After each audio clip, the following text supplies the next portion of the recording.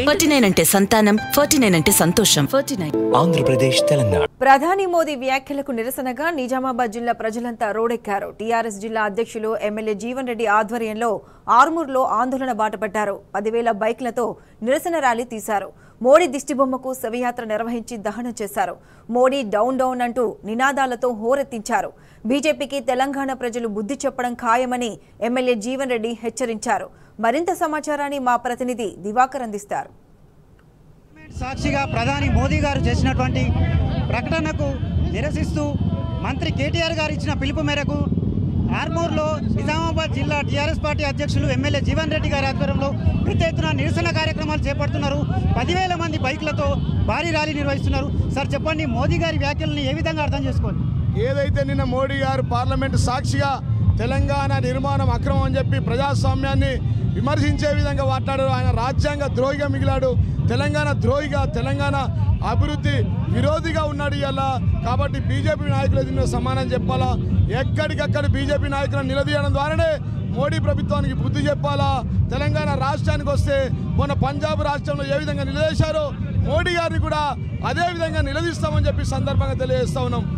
గౌరవ ముఖ్యమంత్రి కేసీఆర్ గారు తన ప్రాణాలు సైతం లెక్క చేయకుండా తెలంగాణ రాష్ట్రాన్ని సాధిస్తే ముప్పై ఆరు జాతీయ పార్టీలు ఒప్పించి ప్రజాస్వామ్యబద్ధంగా పార్లమెంట్లో బిల్లు పాస్ చేస్తే తలుపులు మూసి మూజువాని ఓటుతో పెప్పర్ స్పేతో తెలంగాణ వచ్చిందన్నాడు కాబట్టి ఇకనైనా బీజేపీ యొక్క వైఖరి స్పష్టంగా బయటపడ్డది కాబట్టి యావత్ తెలంగాణలో నిలా నిజామాబాద్ జిల్లా అధ్యక్షుడిగా వేలాది పండ్ల రైలుతో మేము ఆర్మూర్ పట్టణంలో ర్యాలీ నిరసన చేస్తూ ఉన్నాం.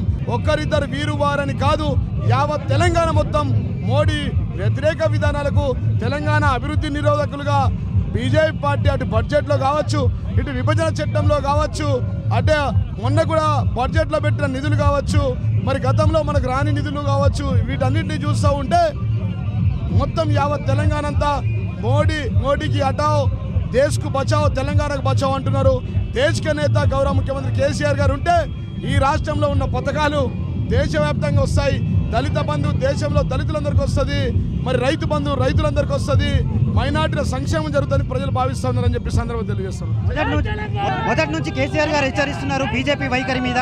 ఇప్పుడు కేంద్రంలో బీజేపీ ప్రభుత్వం ఉంది సార్. విభజన హామీలపై ఎలాంటి చర్యలు తీసుకోవాలంటున్నారు? ఎక్కడికక్కడ నిలదీస్తాం ఎక్కడికక్కడ అడ్డుకుంటాం మీ పార్లమెంట్ ఎంపీలను ఇక్కడ తెలంగాణ ఎంపీలను కిషన్ రెడ్డి గారు కూడా ఉరికించి ఉరికించి కొడతాం తెలంగాణ అంతా. ఇక్కడ విభజన చట్టంలోనే అమలు అమలు చేసిన తర్వాత రావాలని చెప్పి విజ్ఞప్తి చేస్తాం మీద పెద్ద భారీ బైక్ ర్యాలీ ద్వారా నిరసన కార్యక్రమాలు చేపడుతున్నారు. నిజామాబాద్ జిల్లా వ్యాప్తంగా కూడా బీజేపీ ప్రధానమంత్రి మోదీ శివయాత్రలు కూడా నిర్వహిస్తున్నారు. బీజేపీ ప్రభుత్వం ఇప్పటికైనా తమ పద్ధతి మార్చుకోవాలని చెప్పి ఎమ్మెల్యే జీవన్ రెడ్డి గారు హెచ్చరిస్తున్నారు. Video Srikanth Divakar T news Nizamabad.